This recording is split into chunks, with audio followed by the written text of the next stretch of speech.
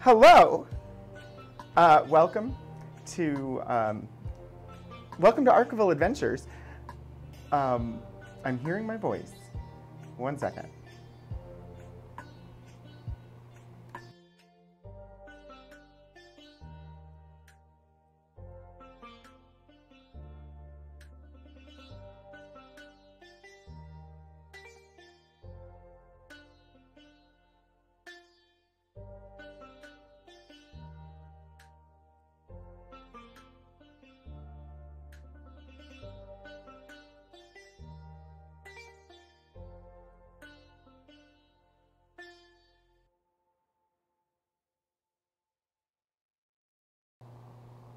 Okay.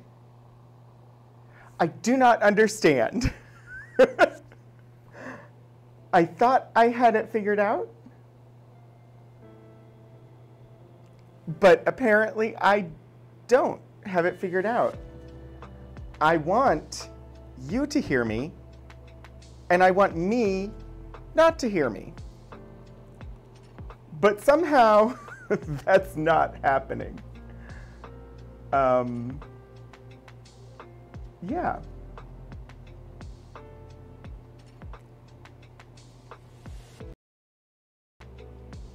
Uh, yeah, I'm not sure. That'll be something for me to work on uh, between th this week and next, because I don't think I'm going to get it fixed today. I don't know why it did that.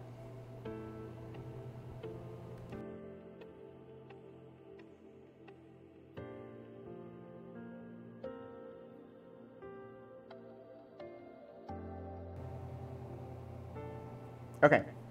Well, enjoy the music and enjoy listening to me talk because it is way too distracting to hear my own voice in my ears when I'm doing this. So I, I won't get to hear the music.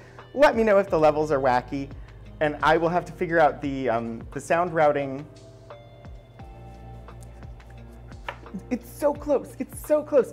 I actually have it so that I can control the microphone volume in OBS which is a big step forward because I did not have that capability before. Um, and, and now I do, but I still haven't figured out how I can listen and hear the output, but not hear my voice, which is supposed to be a relatively easy thing to do, but for some reason when I switch it to um, monitor off, which means that you should hear the audio and I shouldn't, uh, that doesn't work. So I'm going to have to look at that. Anyway, that's all by the by. Welcome to Archival Adventures, everybody. um, the lighting isn't perfect today, but this is the best I could do uh, given the time I had to work with. Um, I got the room set up, but I was, I was trying to get all the audio connections up and running. And um, clearly I ran out of time, but we're functional enough to still have a stream. So if you're unfamiliar, welcome. I'm Anthony Bright Day Hernandez, the Community Collections Archivist here at Virginia Tech. And um, Wednesday afternoons, I share things from special collections and university archives here on stream. This stream is going out to two Twitch channels at the same time. Um, it goes to twitch.tv slash VTUL Studios, as well as twitch.tv slash Rogan27, which is my personal channel. So it goes out to the libraries and my own. Um, and it, tends to be a little chaotic, but a fun time overall. Um, but yeah, welcome everybody. It is good to have people here. Hello, Stephen Joyce. It is wonderful to see you. Uh, Hannah, it's lovely to have you joining. Lord Portico, it's good to see you. Anybody else who happens to be here and has not commented in chat, welcome. It's great to have you here. Um, I also, I added a lovely little, um, I don't know which way I have to point. A thing that will tell you what song is playing. Um, we get them uh, royalty free. like they, they are, they, but, but yeah, I have added a thing that will let you know what music happens to be playing as, as we're watching things in case, in case you're wondering and because I'd like to give credit to the people that did the music. Um, so yeah, I mean, we're current, we're playing the music through a tool called Pretzel Rocks. Um, and yeah, so that is new. Um, I should I should move into the the actual like talking about stuff, huh?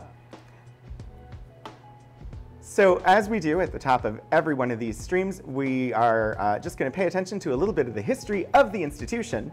Um, Virginia Tech acknowledges that we live and work on the Tutelo and Monacan people's homeland. We recognize their continued relationships with their lands and waterways. We further acknowledge that the Morrill Land Grant College Act of 1862 enabled the Commonwealth of Virginia to finance and found Virginia Tech through the forced removal of Native nations from their lands in Western territories. We understand that honoring Native peoples without explicit material commitments falls short of our institutional responsibilities. Through sustained, transparent, and meaningful engagement with the Tutelo and Monacan peoples and other Native nations, we commit to changing the trajectory of Virginia Tech's history by increasing Indigenous student, staff, and faculty recruitment and retention, diversifying course offerings, and meeting the growing needs of all Virginia tribes and supporting their sovereignty. Virginia Tech acknowledges that its Blacksburg campus sits partly on land that was previously the site of the Smithfield and Solitude plantations, owned by members of the Preston family. Between the 1770s and the 1860s, the Prestons and other local white families uh, that owned parcels of what became Virginia Tech also owned hundreds of enslaved people. We acknowledge that enslaved black people generated wealth that financed the predecessor institution to Virginia Tech, the Preston and Olin Institute. They also worked on construction of its building. Not until 1953, however, was the first black student permitted to enroll. Through Inclusive VT, the institutional and individual commitment to UTPROSIM that I may serve, in the spirit of community, diversity, and excellence, we commit to advancing a more diverse, equitable, and inclusive community.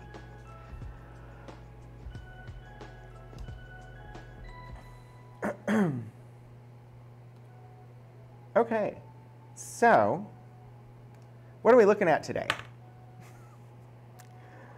Um, this is this is again. Uh,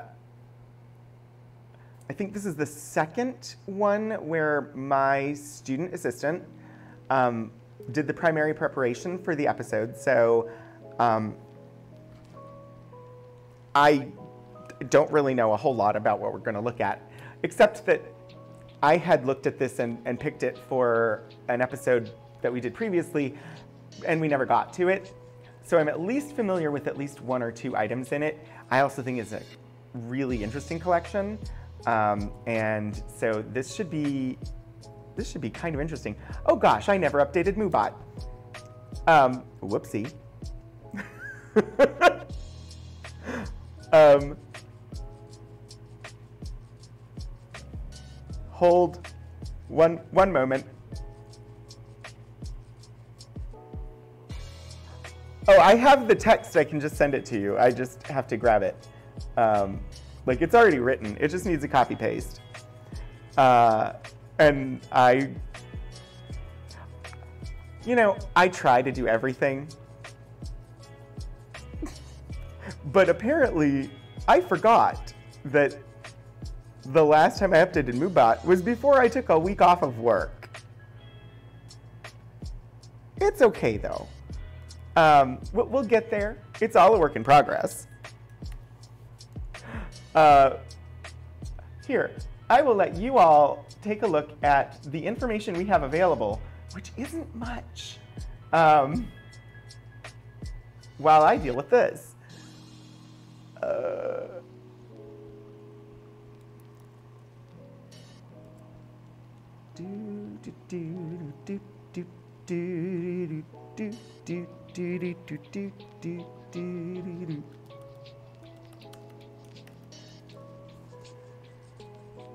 All right, I dropped it in the um, the mod chat, and I will I will update it for the other channel. Because, um, yeah, that was a whoops.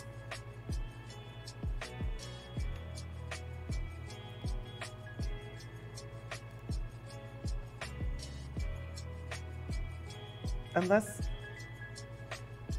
okay, I seem to have already updated it for the, very strange. Anyway, let's not dwell. Um, I don't know anything about this person, apparently. Um, this collection, the Robert Eldred Taylor papers, um, let's see, uh, it's a one folder collection, so it's a really small collection. And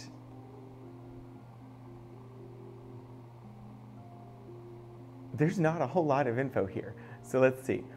Um, scope and contents, selective service records of Taylor of Larned, Kansas during World War II.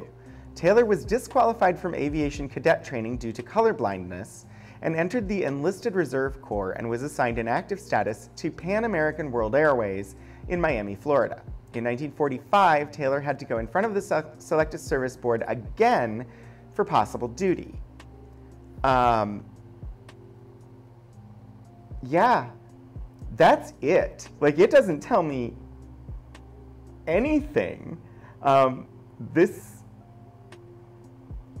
is less information than we would typically like in a finding aid, and in fact is missing some of our required fields um, that we would require now. I have no idea when it was processed, who processed it. I don't even know, I don't have any note in here about where did we get this from?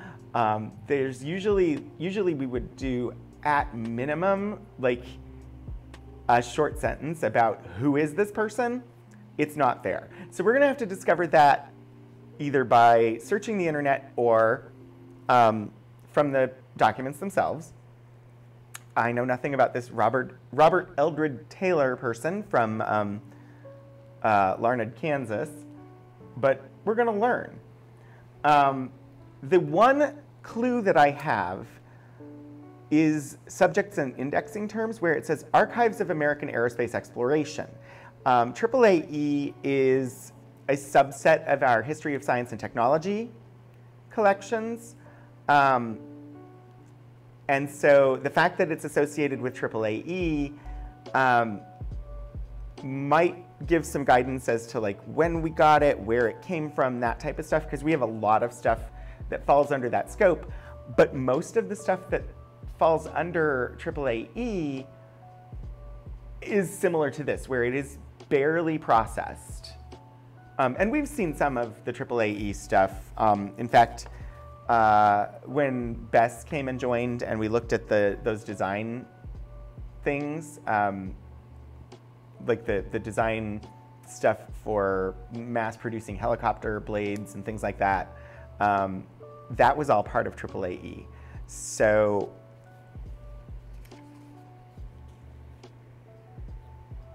I don't actually know um, personally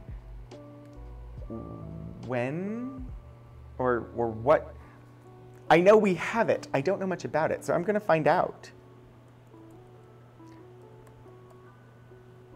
Uh, and you all can, you know, tag along while I do. Um, no, I didn't want emojis, thank you. Um, so this is our website. And I'm going to our collections section. And I want um, science and technology. Archives of American Aerospace Exploration. What's funny is I built this page, but I have never read this section before. this was just, I, I built the page, but this was copy paste text. Um, established in 1986, the Archives of American Aerospace Exploration preserves and makes accessible uh, published and unpublished materials that document American aeronautical and space history, as well as related sciences. The collection includes books and articles, letters, notes, photographs, reminiscences, memorabilia, oral histories, patents, uh, or patents, however you want to say it, and drawings slash schematics.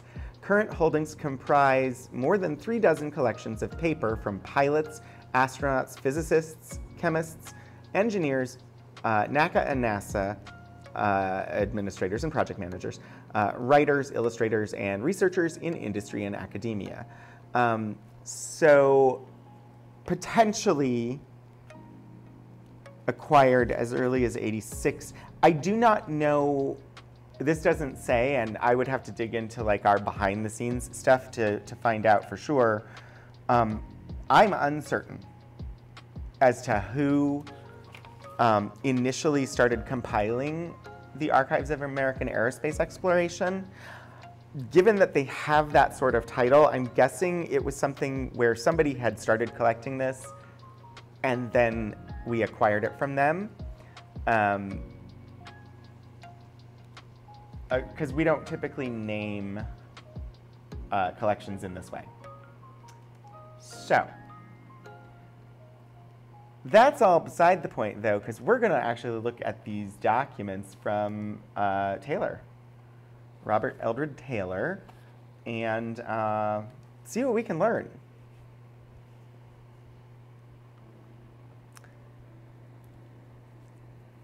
This is it. This is the entire collection. Just, just some papers. One folder. Um, I have three highlights noted from uh, my student assistant. Rejection card for cadet training, documents pertaining to Pan America flights, and recall orders slash physicals. So those are the things um, that seemed apparently to be interesting. Um, I want to start with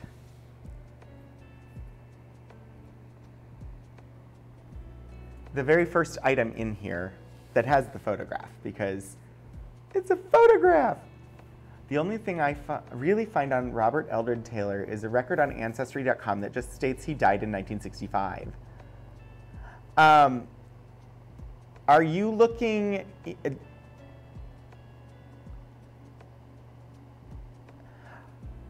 Uh,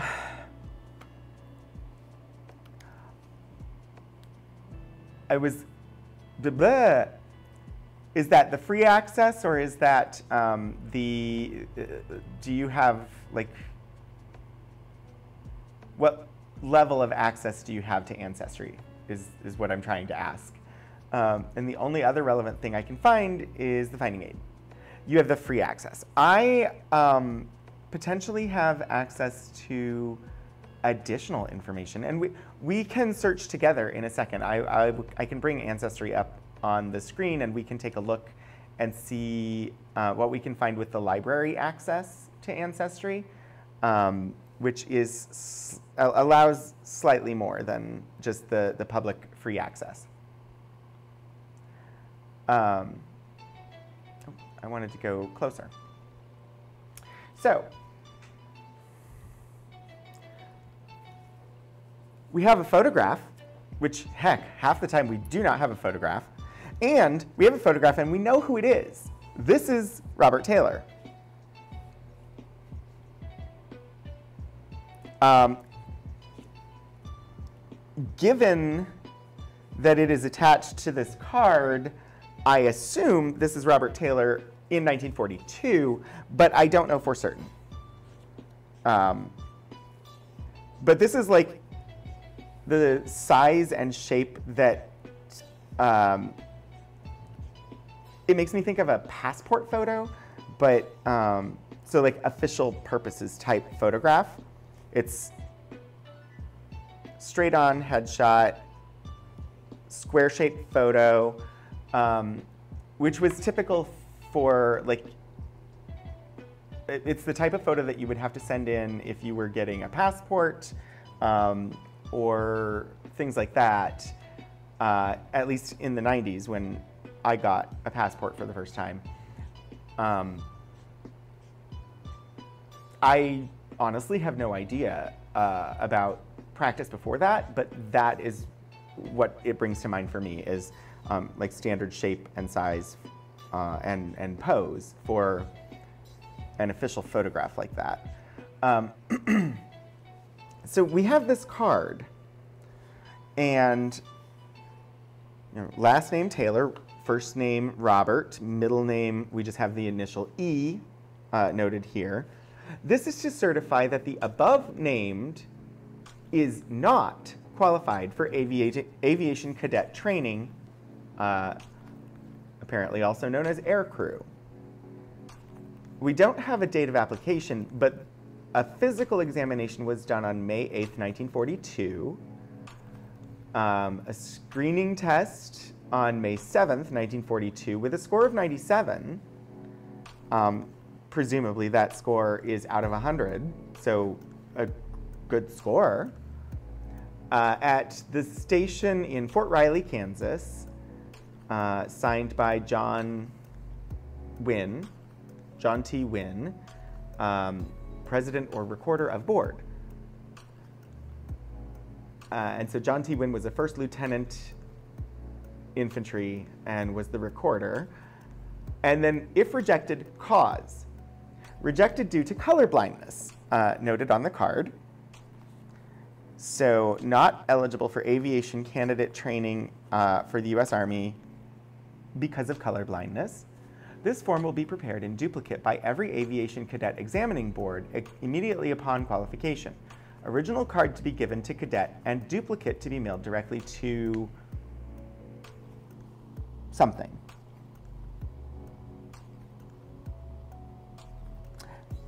Uh, which clearly, whatever, wherever it's supposed to go, is a problem with their typewriter because both times they typed that word, I don't know, it looks like maybe 71CARO, but I don't know. Um, whatever it is, it's their typewriter that's the problem because it has the same gap in the letters.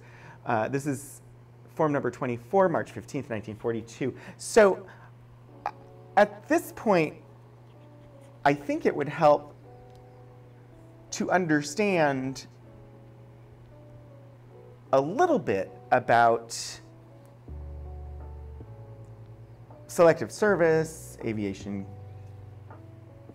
cadet training, things like that. So if anybody feels like looking that up um, and sharing in chat, that would be helpful. I mean, I can do, but uh, if somebody wants to look it up, I'm gonna, we'll, we'll take a glance at this card and then we'll dive in uh, to the information about, you know, what is selective service, um, since this one specifically references selective service. So July 25th, 1942, University of Wichita, Wichita, Kansas.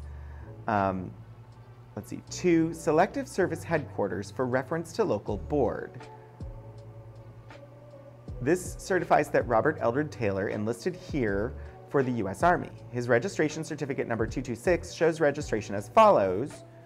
Uh, let's see, Third Ward, Larned, Kansas. We have an address. Let's see. Um, Horace Heath was the recruiting officer, Lieutenant Colonel, Infantry. Um, and so we've got a couple of copies of that card.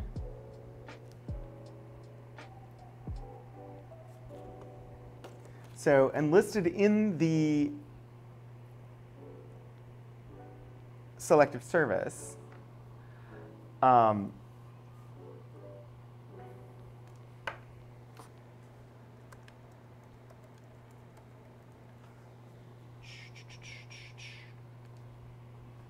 I'm going to bring up a website and then we'll, we'll take a glance at it because what is selective service? Hey, Hannah, thank you for dropping in, um, uh, for dropping in the, the information there. Um,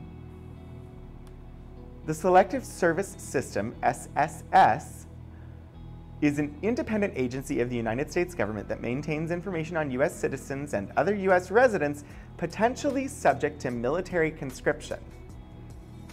Um, that is, the draft.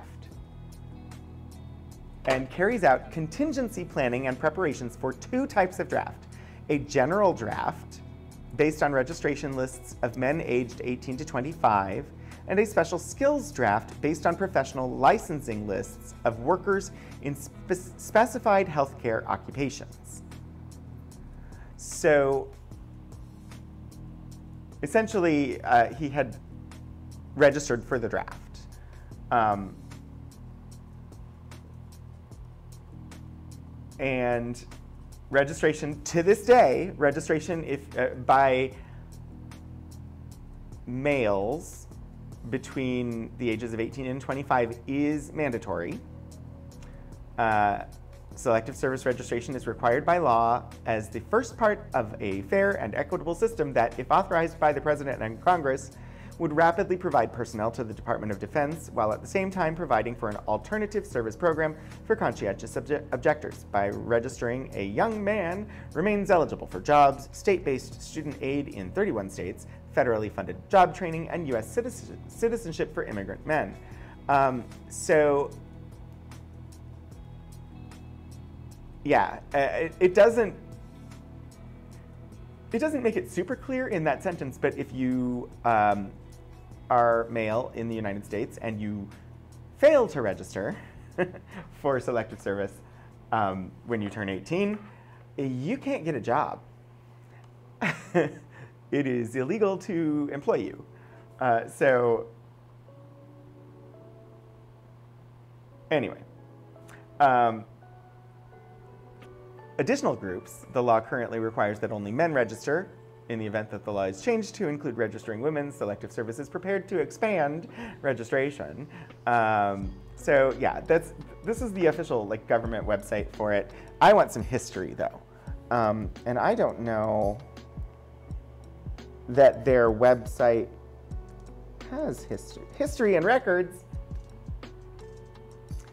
This is, this is what we want to know about this organization. And because um, we want to understand why he was registering for it. Um, and then we can start looking at uh, he was apparently rejected for aviation cadet training because he was colorblind. Uh, so we're going to want to explore that uh, as we look through the documents. Let's see. Though the selective service system as we know it today was not in use, the United States has used systems of conscription since the Revolutionary War era. Conscription was used in World War I with the draft mechanism in both instances being dissolved at the end of hostilities. In 1940, so um, roughly two years before the first document that we have in this collection. Prior to US entry in World War II, the first peacetime draft in our nation's history was enacted in response to increased world tension and the system was able to fill wartime manpower needs smoothly and rapidly after the attack on Pearl Harbor. At the end of the war, the draft law was allowed to expire, but it was reenacted less than two years later to maintain necessary military manpower levels as a result of the Cold War.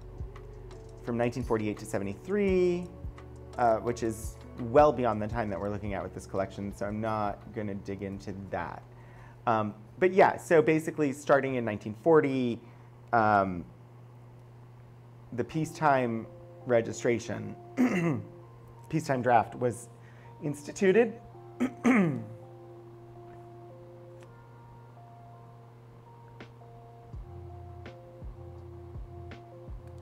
but the documents that we have are from 1942. So did it just take him two years to like get around to registering or what? Nice little history section covering 1940 to 47 in the wiki that you linked. Okay. Yeah, I've, um, I've been to the wiki. I wanted to explore this site real quick, but we will go over there in just a second. Because um, in in advance of uh, today, I had glanced at the wiki. Uh, let's see. Selective Service System was created as an independent agency with a director responsible to the president.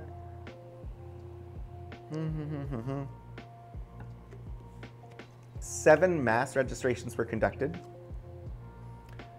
Uh, age was originally set 21 to 35. Oh, there we go. That's probably it he probably um, aged into being required to register in 42. and that's why the documents start then. So he probably turned 21 in 1935, or 19, sorry, he probably turned 21 in 1942. I was looking at that, uh, at the number 35, and um, yeah. Okay.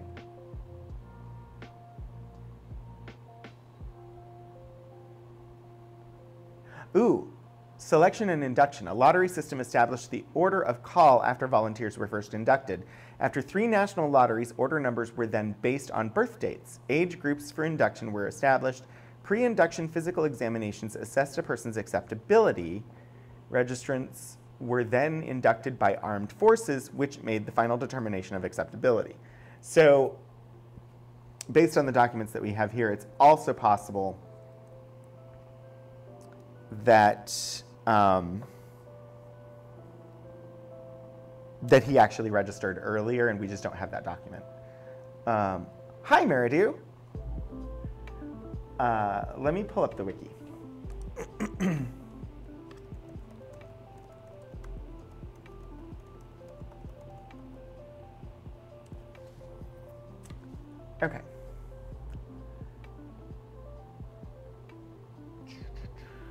So we want 1940. And yeah, this is a pretty good, let me see if I can boost the font size a little without it being really badly formatted. 1940 to 1947, Selective Service and Training Act of 1940 was passed by Congress on 16 September 1940, uh, establishing the first peacetime conscript conscription in the United States history requiring all men between ages of 18 and 64 to register. Um, to register, they completed a DDS Form 1 military draft registration card from the Director of Selective Service, which I do not believe we have a copy of that card.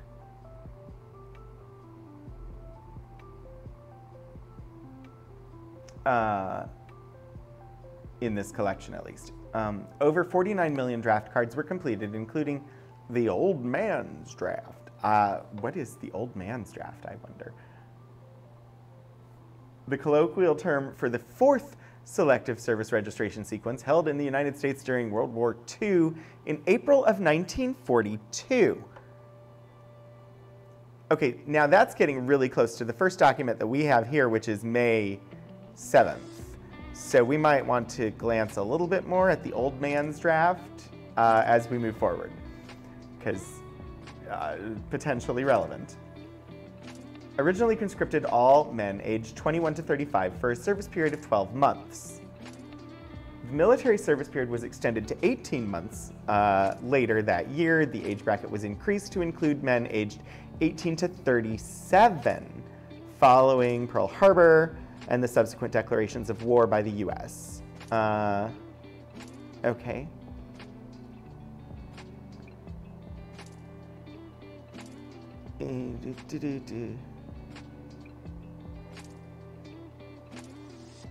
1945 State of the Union, uh, President Roosevelt requested that the draft be expanded to include female nurses. Male nurses were not allowed uh, to overcome a shortage that was endangering military medical care.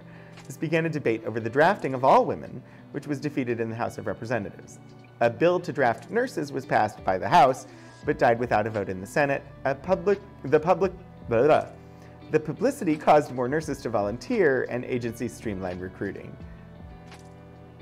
It was, uh, the, the, that draft was, or yeah, ended in March of 1947. So I think one of the more relevant things to the collection we're looking at today might be this old man's draft. If the birth date, I found is accurate, he would have been 36 in 1942, which would make sense. Um, because according to the information here, um, required age for registration increased from 35 to 37 uh,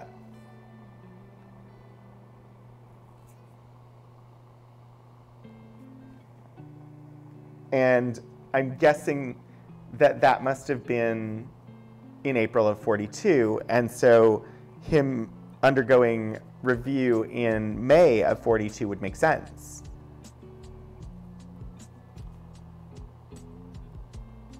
Let's see. The first peacetime conscription in American history was authorized under Selective Training and Service Act of 1940 in September 1940. This was well in advance of the country's actual entry into World War II, but in clear anticipation of the likelihood of involvement. Registration began with those aged between 21 and 35 and gradually broadened to men aged between 18 and 64 as needs increased after the country entered the war in December 1941. Whoa!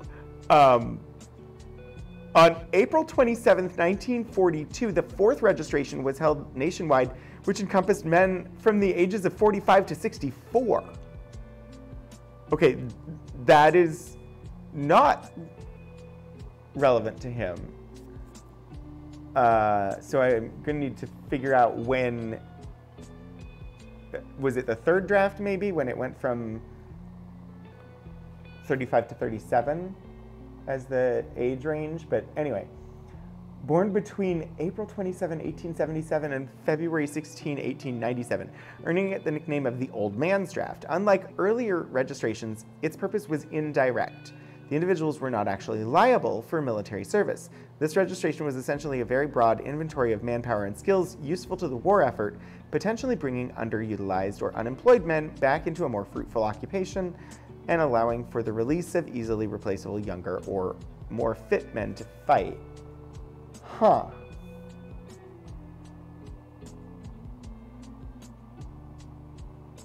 Wow. I so not relevant to Taylor, but also just wow. Uh,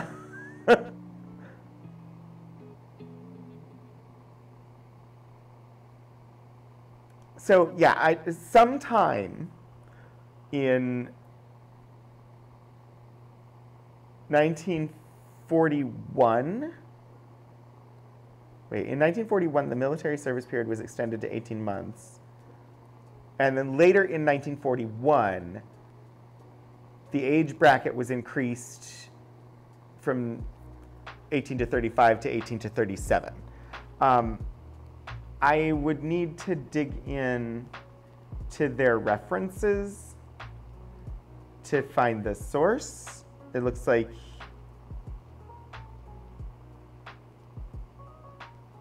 it looks like the source cited for this section is this Joseph Connor Drafting Women, World War II magazine. Um,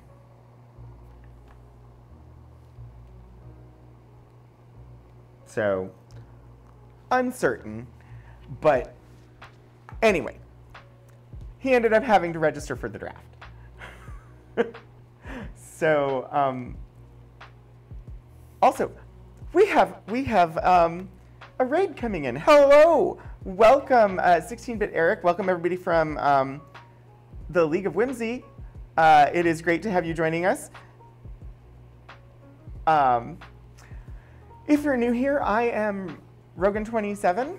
Uh, since you're coming in on that channel, I am uh, also known on the internet or known in real, I don't know. I'm Anthony Wright de Hernandez, Community Collections Archivist at Virginia Tech, and um, you're here for my archives show, which is called Archival Adventures. It happens um, weekly on Wednesdays, uh, at, starting at 2.30 p.m. Eastern Time, where I share um, historical documents from Special Collections and University Archives at Virginia Tech. This show goes out on two channels. Um, it goes out on twitch.tv slash VTUL Studios, uh, the Virginia Tech University Libraries channel, as well as my own, Rogan27. Um, so welcome in, everybody. It is great to have you here. Um, and yeah, uh, Shadows of Life, it's good to see you. Thank you for dropping the shout out uh, for 16-Bit Eric. Indeed, if you are here and you're not already following 16-Bit Eric, you should follow 16-Bit Eric. Eric is um, an absolutely wonderful individual with a wonderful community. Um, you can definitely definitely learn a lot uh, from watching about life, about TTRPGs, about being kind and humble, and uh, just you know, it's it's all around a good time. Definitely worth a follow. Um, Baba Yiha, hello. Um, uh, Blue Rooster, it's good to see you. Hello. Um, also, hi, uh, Hall Reaver. Welcome. Thank you for the follow. Uh, so today we are looking at a very small collection of materials about um, Robert Eldred Taylor, uh, who was from uh, Larned, Kansas. We don't know much about him.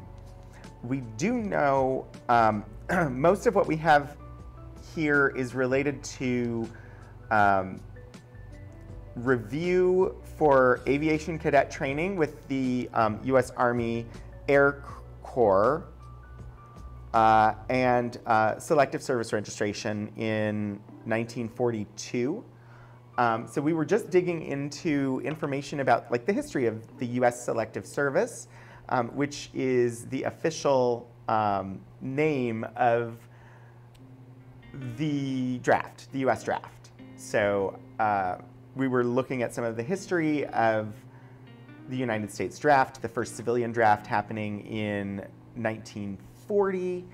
Um, and we were just looking at, uh, it looks like sometime in late 1941, the required age for a for registration for the draft uh, went from 18 to 35 to 18 to 37, and Taylor at the time was 36 years of age.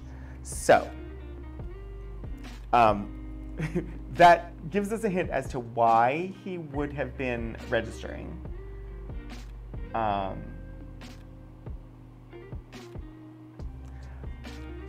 all right, let's continue looking. He was initially registered, uh, like, the first document we looked at was uh, he was rejected for aviation cadet training um, because he was colorblind. And then we've got copies of confirmations um, noting that he did enlist for the US Army. So this was being sent to the Selective Service headquarters uh, because he would have been subject to Selective Service, but he enlisted in the Army, um, meaning he signed up to serve uh, not just registering for the draft.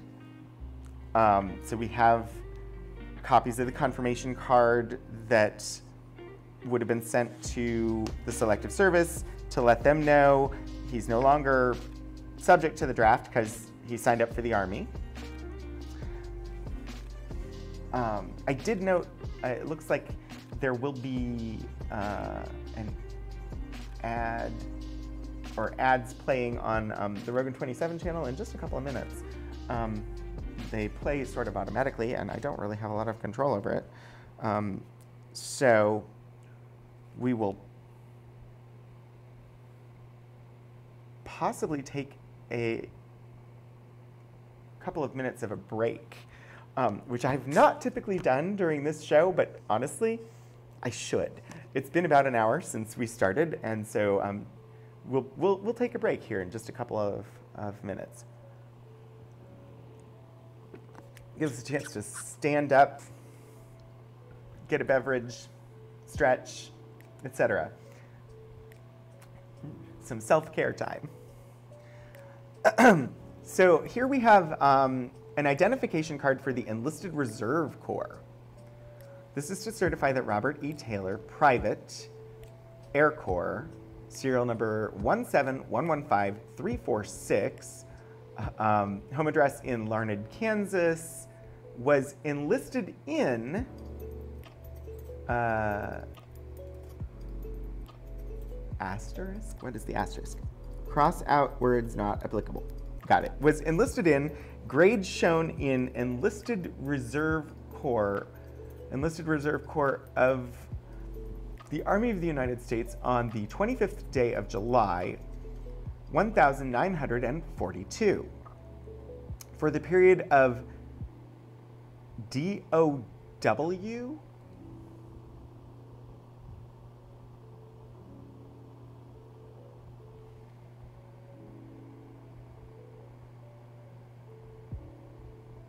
Okay, this will take some investigation because I don't know what this is. Uh, DOW, and then it looks like PL. Wait.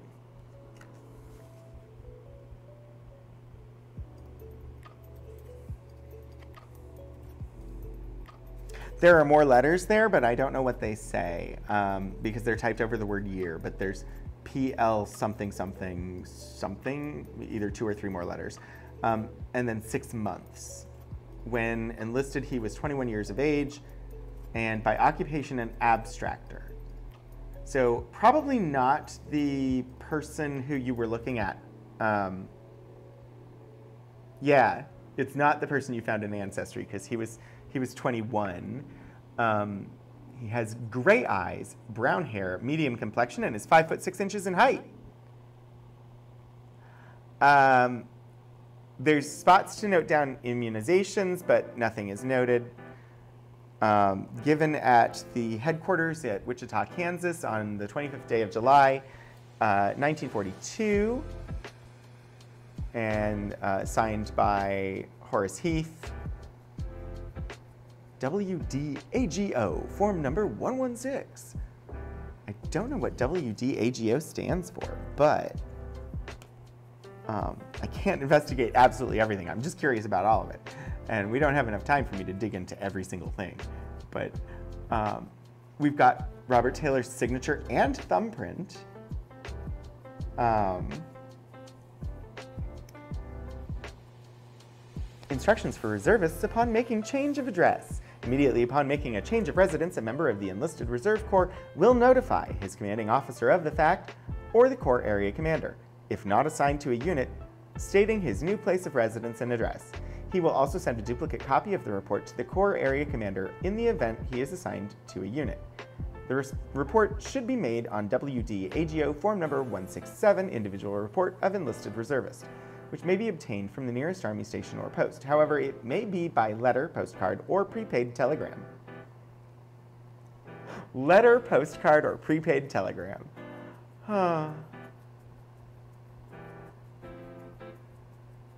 Yeah, not even to the point of faxing information around. Um, cool. All right. Uh, we've got more. There's plenty more, but um, I don't want to lose stuff to um, the ads playing, and they should be starting soon. So I think we are maybe gonna, sorry, it gave me a pop-up that said ads will start soon, but now I don't see when. Thank you. Thank you so much. Um, one second. I'm gonna figure it out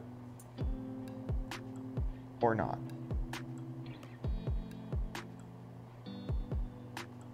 Where is it? This one. Add this one. oh gosh. That's a badly placed panel, but at least it's in existence now. It just says starting soon. So, um, yeah, it is gonna start playing three minutes of ads at any second. Uh, so I'm gonna, we'll go on a quick break and I will see you in a couple of minutes. Um, I encourage you to stretch, uh, get something to drink, etc. We're gonna dig into more of this information um, when we get back from the break. There's a career here that is very interesting. So I will see you in just a, just a moment.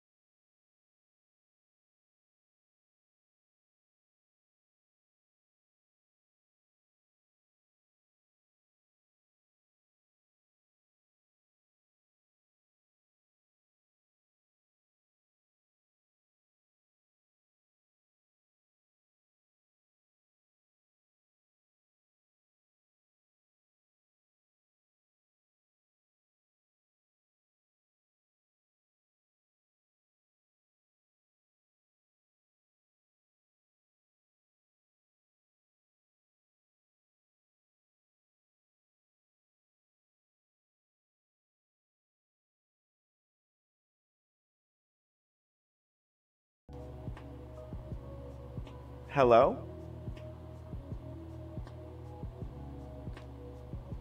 I, I'm, I am hopeful that you can hear me now. Zounds! Yeah, I don't understand. Well, I will have to play with that. Um, because that is not how those settings should work, but that is how they are working, so I need to figure out why, but not on stream. Um, anyway.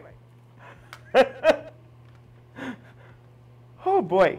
Um, uh, quickly, we'll just glance at, we have the registration certificate. This is, um, this is what we saw referenced earlier. This is the selective service registration card. Um, this is to certify that in accordance with the Selective Service Proclamation of the President of the United States, Robert Eldred Taylor uh, of Larned, Kansas, has been duly registered the 16th day of February 1942. Signed by LCG Bird, uh, Registrar for Local Board 1 of Larned, Kansas. The law requires you to have this card in your personal possession at all times. Um, gosh, it's been a while since I saw a draft card. Description of, resident, uh, of registrant. So uh, white, hazel eyes, apparently dark brown hair, because uh, you can see initially marked as black and then changed to brown, um, with a dark complexion. That that's everything that's marked on there. Um, anyway, not much to see on that other than, hey, that's what a, a draft card looked like in the 1940s. Um, we have a telegram uh, because, as I noted before our quick break, pre-faxes. Western Union, uh, which is a company still in operation today, I believe, for wiring money and, and such, but Oh yes, there were indeed historical terms on the uh, the back of the. Um, mm-hmm. Yeah, I'm not. I'm not going to linger on them, but but they were there, and yeah,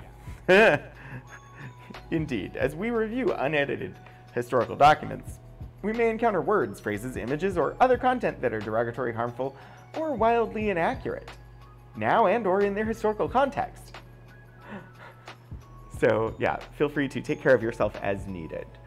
Um, so Western Union, uh, let's see, duplicate of telephoned telegram, Larned, Kansas, uh, July 24th, I think it's 9 p.m. Um, Oh, jeez.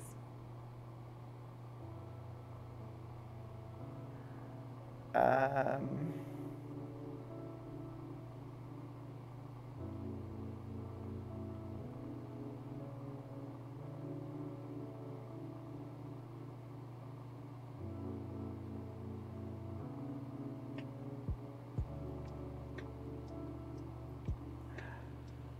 Ah. Sorry, I got a, a, moderator message and I'm responding real quick. Um,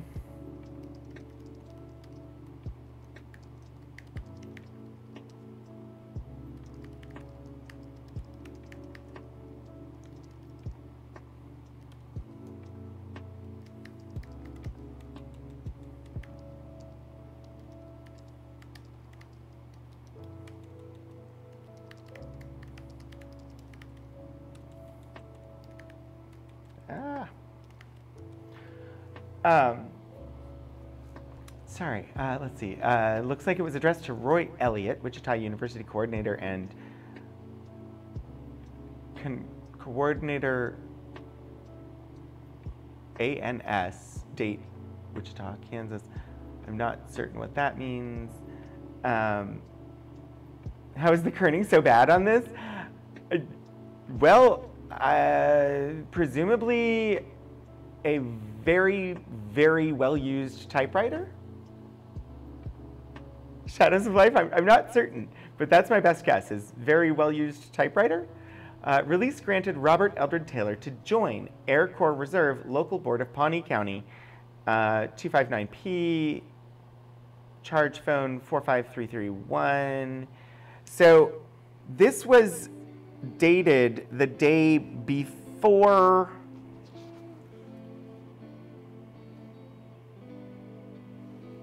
This telegram is dated the day before the um, enlistment, which is two months after um, being rejected for uh, the aviation cadet training because of color blindness. Um,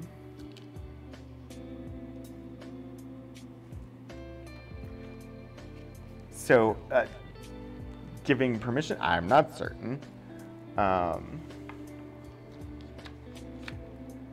and then we've got a certificate from the United States Navy, Gulf Sea Frontier. Let's see, I, I need to zoom out. Uh, zoom out. Show the document. All right, U.S. Navy. Um,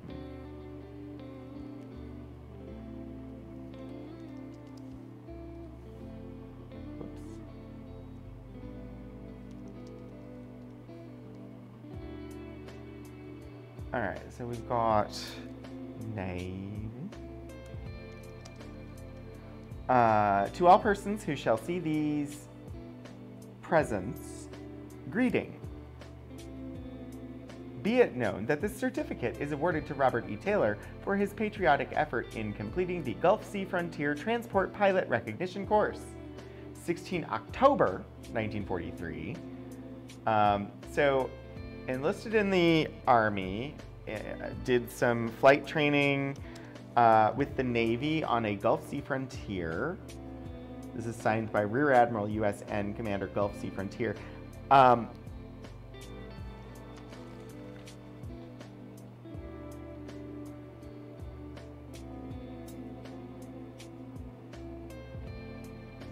so yeah, two months after he tried to enter the aviation cadet training program and was rejected for color blindness, there was a release granted for him to join the Air Corps Reserve.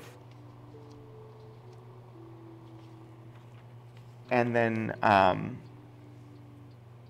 three months later, he's got this certificate from the Navy.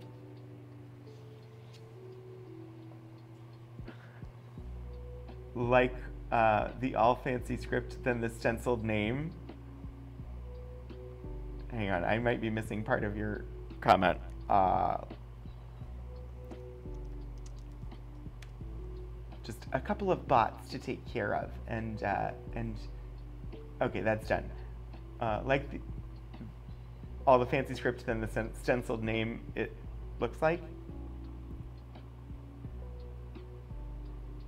I mean, so this appears to have been a pre-printed certificate. It's like what you would get today, honestly, um, where it, it's generally pre-printed and then somebody. It honestly, I don't know that I can make it visible on stream, but I can try. Because um, if you look at an angle, if you get the lighting at the proper angle on the um, lettering, and I don't know that it's it's going to show up or get picked up by the camcorder. Um, all of this stuff is the same ink, except the name. The name is slightly shinier. Um, I believe that the name was actually hand done with a marker, like a felt tip type marker, is what it looks like very neatly done, but it looks to me like it was done with felt tip and then um, some, then it was signed. So there's three different inks that I'm seeing on here um, just at a glance. If I had an ALS of some sort, an alternative light source, it would be easier to identify. Um, specifically the different inks and, and, if it was necessary to go to that level of investigation, um, that would be like the technique to go forward. But just at a glance, the way that the light shines off of the different printed parts, etc., um, and sort of, I can tell that like the the serifs on the letters that there was marker going over marker uh, because of the way that it, it's shiny and I can see a little bit of texture, um, which tells me that the name is handwritten on there. Um, so he can't fly with the Army Air Corps, but he can with the Navy. Um, Blue Rooster, it is the same guy. He was rejected for color blindness from the aviation cadet training in the U.S. Army Air Corps, but then two months later, there was a release granted for him to join the Army Air Corps. And then he got training from the US Navy on the Gulf Sea Frontier plane. But as far as I can tell, he was in the US Army Air Corps. This is just a certificate um, of training he took with the Navy. So, um, let's see. Headquarters, Gulf Sea Frontier, DuPont Building, Miami, Florida, 22nd November, so another month further on. Oh, no, this is 1943 now. Um, oh, wait, no, that was. The October one was also 43. Dear Sir, it is with pleasure that I enclose certificate evidencing your completion of the Gulf Sea Frontier Transport Pilot Recognition course. Um, Yours very truly, E.B. Nixon, Captain, U.S. Navy Intelligence Officer, uh, addressed to Mr. Robert E. Taylor, Pan American Airways Incorporated, care of Chief Pilot's Office, ED, Coconut Grove, Miami, Florida. And so this was actually, the certificate was enclosed with that. Um, I can't tell, Meridu. I, it looks to me like the date is also handwritten, but I in the lighting that I am currently in, it is much harder to tell.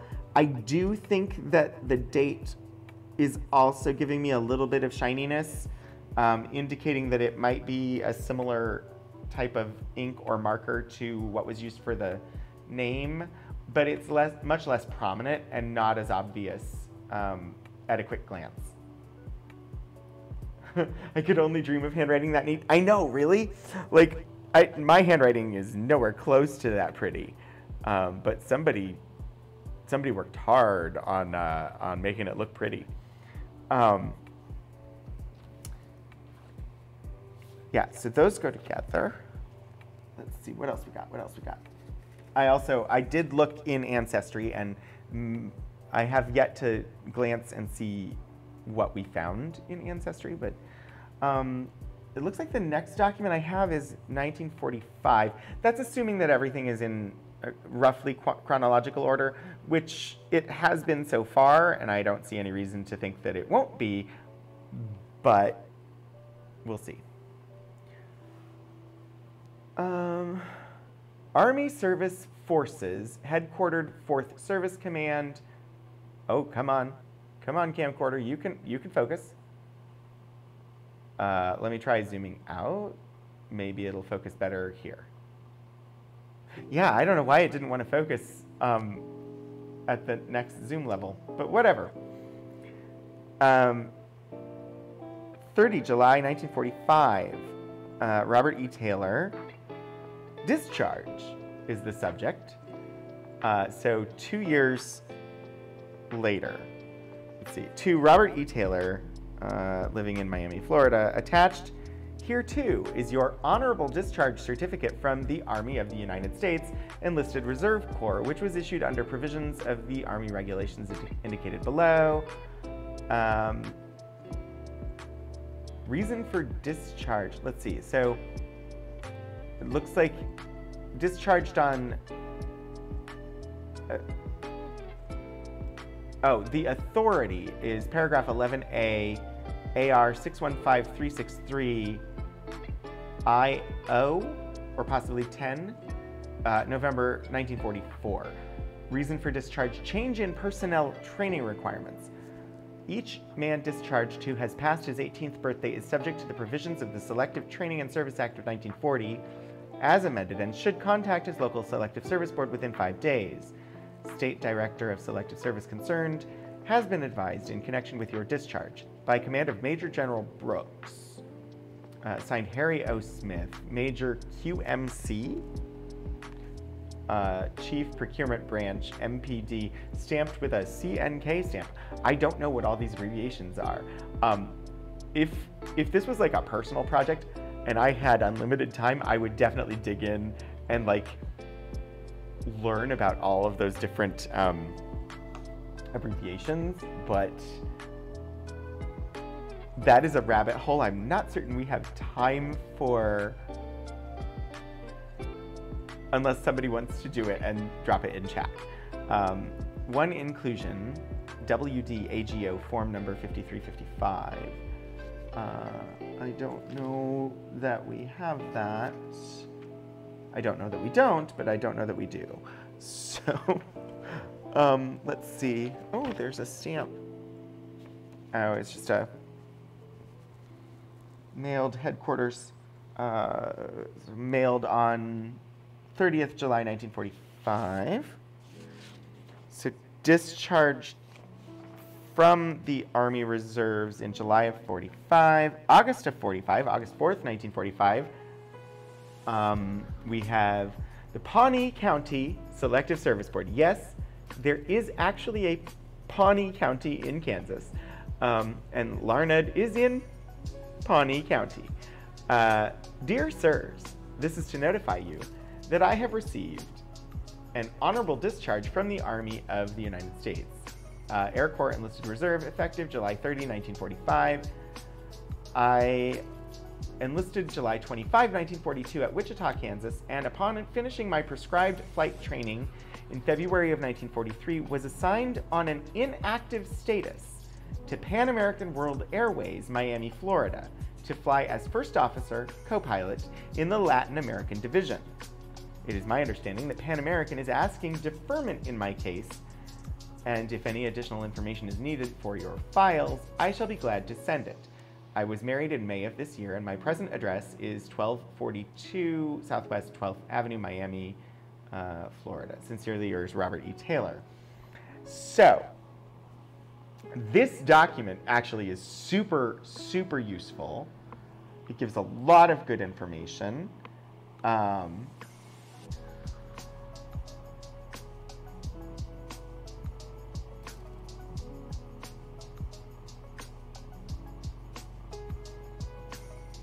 and gives us some additional things that we can use to try and find a record of him in Ancestry, um, which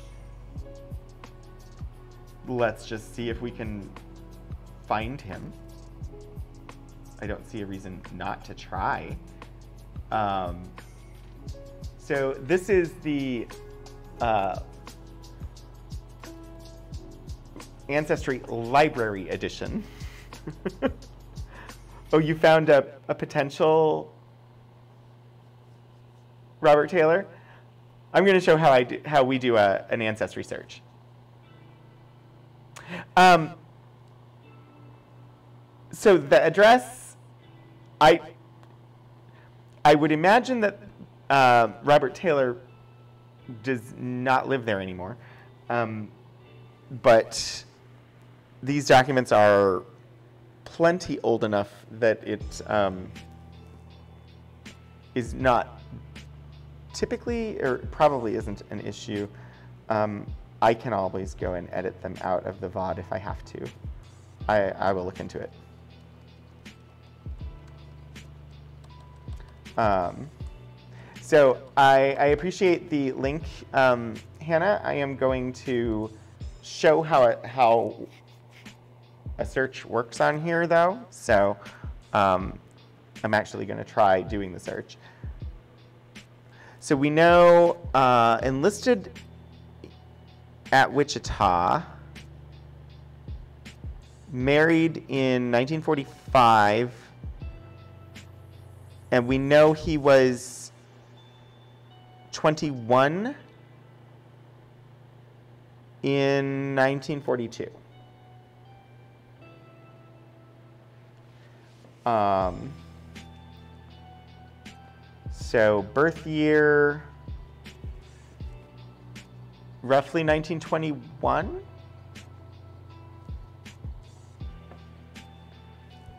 Uh, more search options. There was a marriage in 1945 and lived in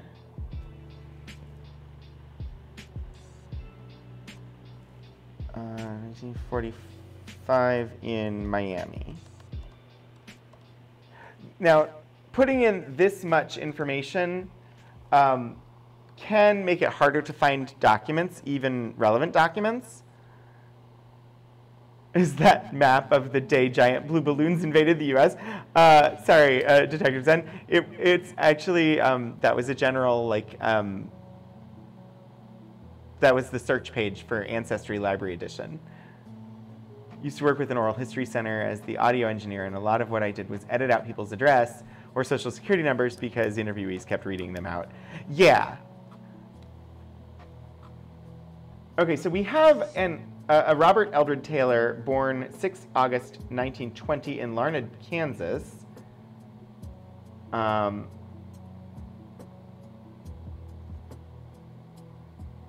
U.S. World War II draft cards. Oh, that's the same handwriting.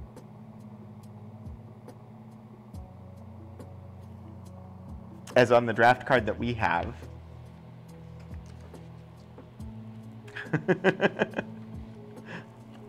it's exactly the same handwriting. And that is his signature. So this document is definitely, uh, so I have DSS Form 2. This is DSS Form 1. Um,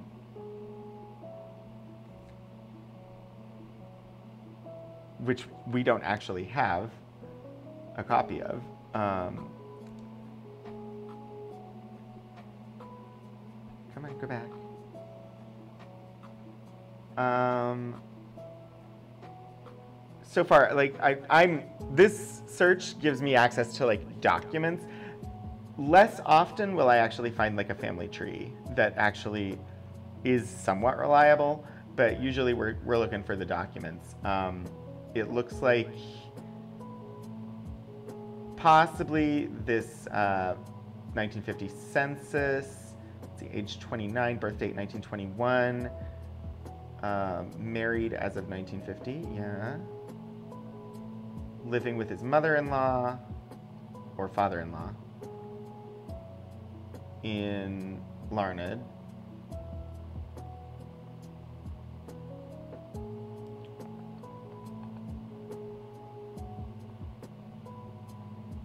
Six August 1920.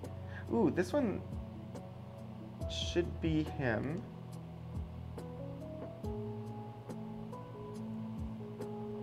Uh, died 20th July 1994 in Fernandina Beach, Florida, and is buried back home in Larned. Was married to um, Taylor, looks like. So this is the type of search that we would typically do in preparing the finding aid so that we could get a little bit of information to put in a biographical note um, about the person whose papers it is, um, which is why when I first pulled up the finding aid at the beginning of the stream and there was no bi biographical information at all, um, I, I, noted that that was unusual because usually, like, we've got access, we go in there, and part of doing the finding aid is looking that information up. Um,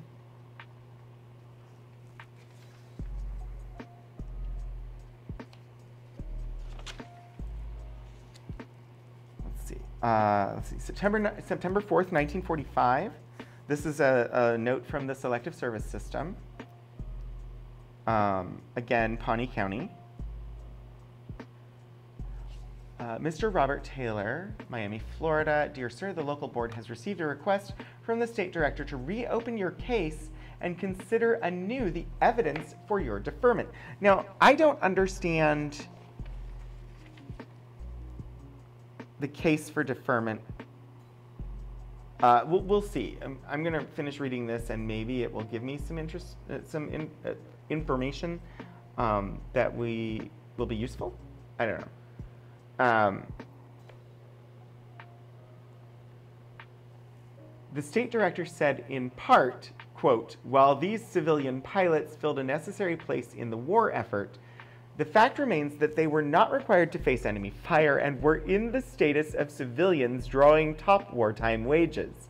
It is thought by this headquarters that so long as replacements are needed by the armed forces, this registrant should be required to serve a tour of duty, thus relieving someone who, due to age or long service, should be released from further service. For local board number one, Pawnee County, Marjorie C. Van Horn, clerk. Carbon copy to Pan American Airways.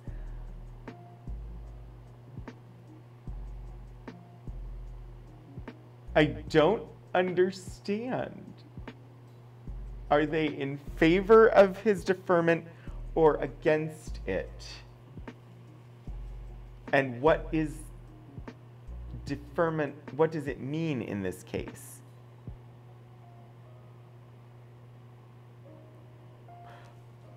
Let's let's see if So I know so he enlisted in the reserves. And then he was told uh, when, when he got discharged from the reserves, he was told, you have to register for selective service. And then he contacted the Selective Service Board, giving him his background, because he was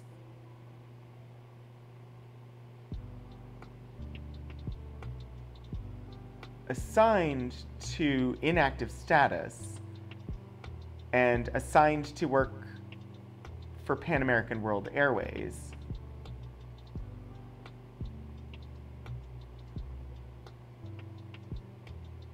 So I'm guessing Pan American wanted him to keep flying for them and wanted deferment from selective service so that he could do so.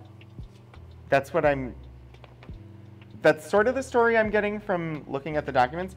I don't know uh, because I'm not 100% certain, and I would need to dig a little bit into what a deferment means. Um, let's see. Uh, this is October 26, 1945, Selective Service System order to report pre-induction physical examination. The President of the United States to Robert Eldred Taylor, greeting. You are hereby directed to report for pre-induction physical examination at local board office, Larned, Kansas at 4 p.m. on the 13th of November 1945 leave that night on the 920 train for Fort Leavenworth. Uh, Marjorie C. Van Horn. So,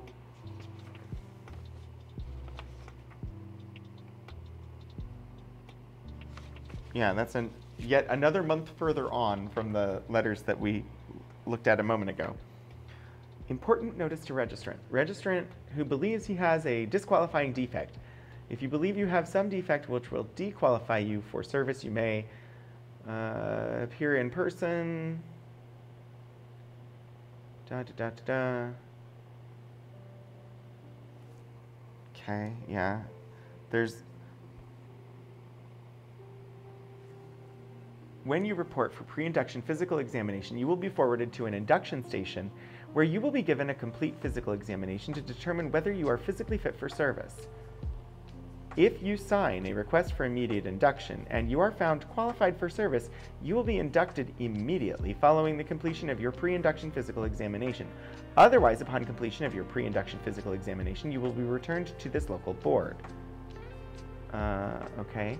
If you fail to report, if you're so far from your own local board that reporting in compliance will be a hardship, let's see, okay.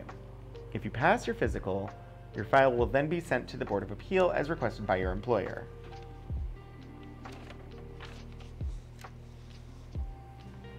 And that's added on um, specifically for him, it looks like. Okay, selective service system, transfer, physical, or pre-induction physical examination. Date, September 1st, 1945. Uh, name, Robert Eldred Taylor. Present address, care of Operations, Pan American Airways Incorporated, Brownsville, Texas. I present herewith my order to report pre-induction physical examination, issued by Local Board 1, Pawnee, Kansas.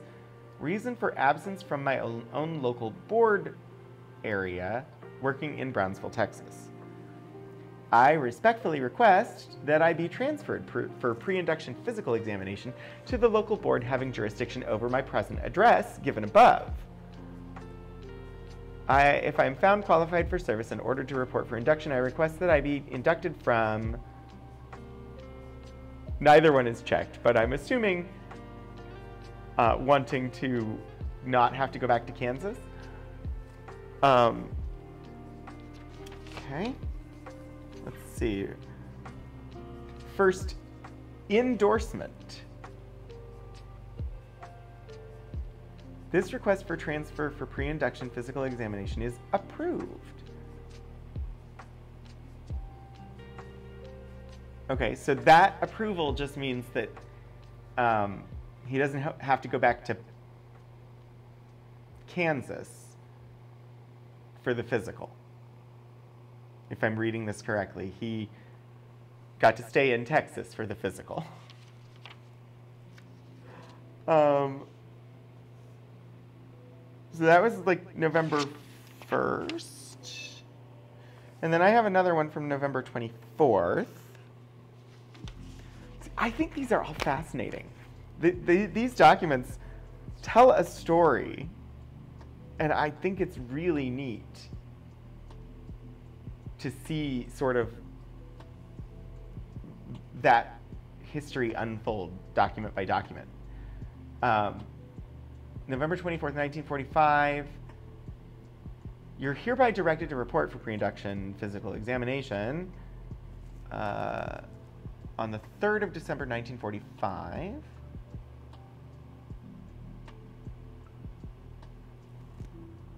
And this is now Brownsville, Texas, instead of um, Larned, Pawnee, Kansas. Um, okay. There is resolution here. Resolution to the um, saga, at least partly, Selective Service System, Local Board Number 1, Cameron County, Brownsville, Texas. Certificate of Fitness. Robert Eldred Taylor. I hereby certify that the above named registrant has been given a pre-induction physical examination and found physically fit, acceptable for general military service. I'm just going to pull his photo in again because I just think it's good to keep in mind who these documents are about. Um, date of examination 5 December 1945. Rank, let's see, uh, name, rank. So H.J. Cranmer, first lieutenant, uh, AUS. I'm not certain what that stands for. Fort Sam Houston, Texas. Um, I just love that our very first document in here is you can't go for aviation cadet training because you're colorblind. And, and now, three years later, three and a half years later, um, it's, well, you passed your physical.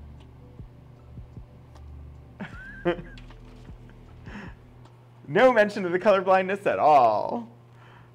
Um, so then we've got, let's see, two postcards it looks like. Uh, 46 and 47. What is this? I think this this has a staple and appears to be related to this. Yeah.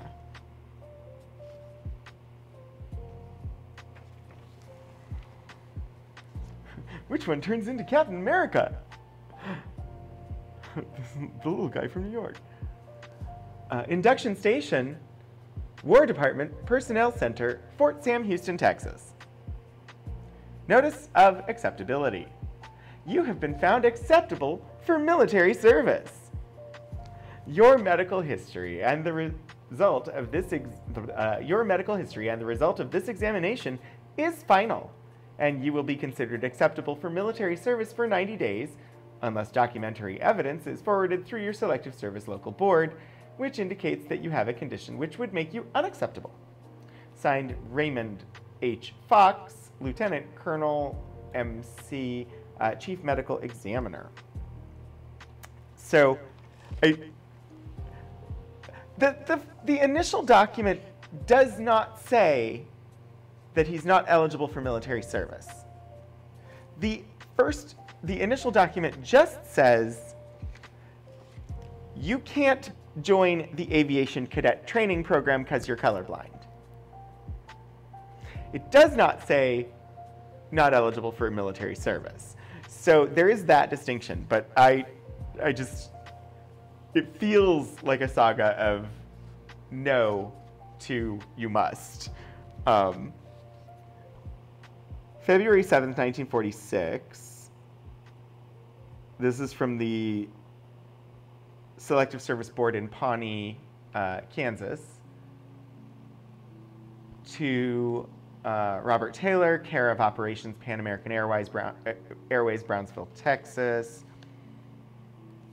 Notice of classification. Robert Eldred Taylor has been classified in Class 2A. I am curious as to what that means. Um, until 23 July 1946, by Board of Appeal, by vote of 3 to 0, uh, February 7, 1946, MC Van Horn of local board, uh, who's the clerk, let's see. The law requires you, subject to heavy penalty for violation, to have this notice, in addition to your registration certificate, Form 2, in your personal possession at all times, to exhibit it upon request to authorized officials, to surrender it upon entering the armed forces, to your commanding officer. DSS Form 57. Notice of right to appeal. Appeal from classification by local board must be made within 10 days after the mailing of this notice. You may file a written notice. Da, da, da, da, da, da, da. The law requires you to keep in touch with your local board, notify of any changes uh, in address, notify of any fact that might change your classification, comply with the instructions on the notice of classification part of this form. MC Van Horn sounds like a 90s rapper. Um, I could see that. I could see that. Um,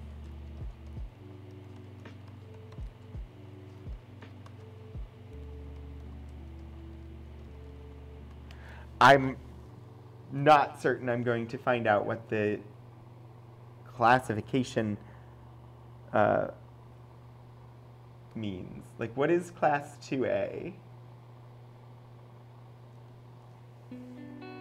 Ooh. Selective Training and Service Act of 1940. Oh, I'm so glad I looked.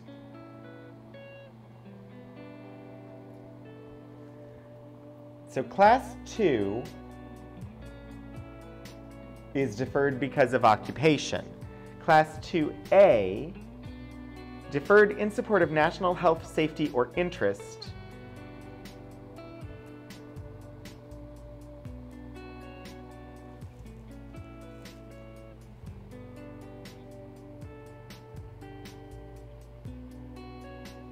Um, but there's also a 2A with an F in parentheses that was in use, let's see, when was this? 1946? Ah, yeah, so the 2A was no longer in use. So this would be 2AF, um, which pre, uh, was, uh, the class was for previously rejected for military service. So his classification in class 2A is an indication um, that he was previously rejected for military service. There are technically five minutes left of stream. Do what you will with this information. We are almost done looking at every document in this collection. Um, there's just a, like two more. So I think we'll, we'll get through them. But thank you for letting me know the time because I was not paying attention. Um, so then we also have from uh, March 6th of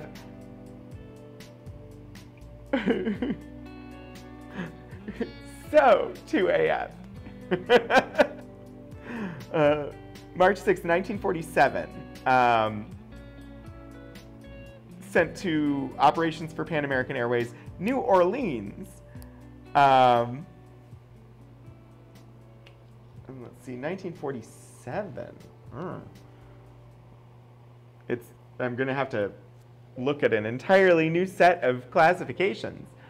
Um, I, I'm uncertain why and why he was reclassed, or whether like I'm not certain what happened here. But the previous one, uh, class 2A, was assigned by the Board of Appeal in um, Kansas, and I I feel like I don't know everything about what that means, but um, I don't have time to dig too far. But this one, uh, March 6th, 1947, classified in class 1C DISC, it looks like. Class 1C discharged. So this is um, confirmation of discharge from the armed forces, honorable discharge.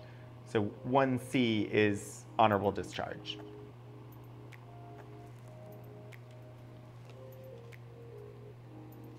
The other item in this collection,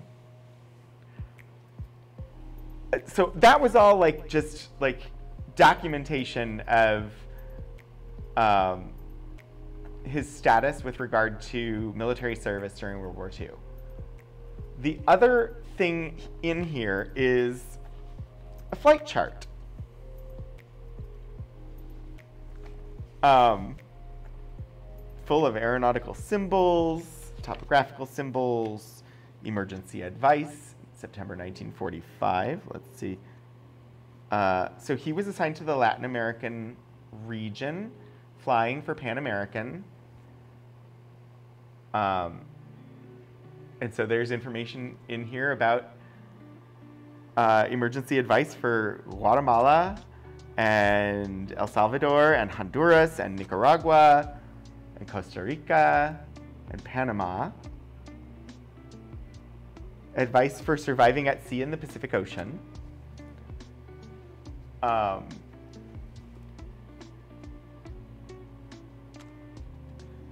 and like I, this is a very interesting document. I personally think that this document much less interesting than all of the um, war registration stuff, but still really interesting. Just to me, the the like saga of he enlisted. He wanted to be a pilot and fly for the army. Um, like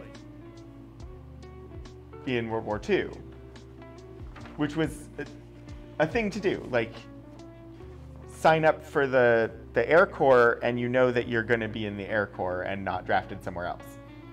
So great. But then he was told, sorry, you can't do that because you're colorblind. Uh, so instead, we're going to send you over to Pan American and have you fly for them. You can't fly for us because you're colorblind, but you can go and be a co-pilot for Pan American. I just, that is the story I want to understand. That's the story told by the documents. There's more there. and I'm very curious about it. um, but yeah, this is a map of um, the region that he flew for, or that he flew um, for Pan American Airways. So, yeah, it just there is there is a story here, and it it looks to me like a really interesting story. Um, we've got the official documents uh, of the saga of his enlistment and registration with the um, Selective Service. But there's more to this story, and I would be really, I would be really interested in, in learning it. Um, so I, I would, I would love to know more, but these are all the documents that we presently have. Um, but to me, it's all really interesting. Uh, I hope that that was fun for for you all. Um, glancing at those things, sort of learning a bit about the, the U.S. draft, um, despite having been registered for the draft in, in like as required when I was younger, I learned a lot about the draft by working on this. Um, so yeah, yeah, you have so many questions. I do too, Maridu. Like there's so much more to this story and I want to know it all, but um, sadly we are out of time for Archival Adventures today, and we have actually, for once, looked at every single item in the collection. Um, I, I enjoyed this one a lot, and yeah, I, I like this one. Um, this is a, a good topic. Uh, but we'll be moving on from it until next week when the topic is Ask an Archivist Day.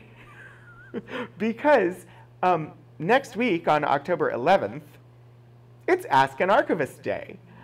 Uh, so instead of what I typically do, I'm going to pull back the curtain a little bit. And um, I've grabbed a couple of unprocessed collections, and basically, I'm going to walk through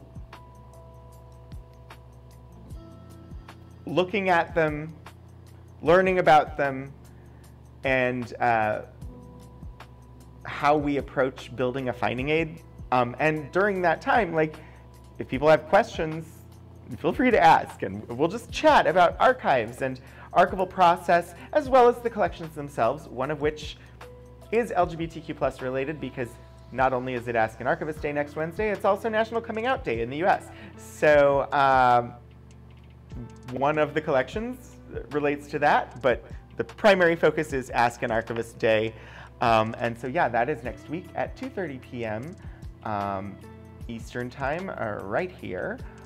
Let me see, I think, I think I know where we're going. Um, mostly because I saw him in chat earlier.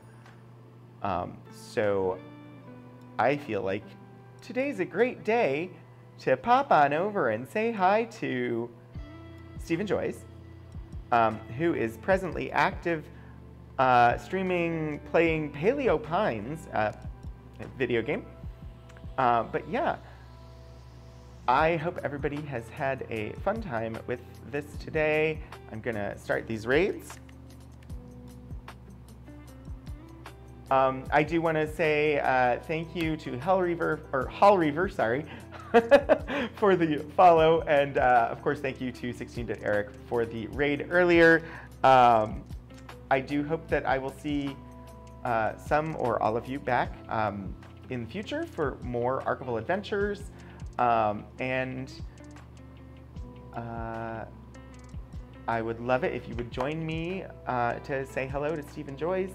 Um, also a lovely community.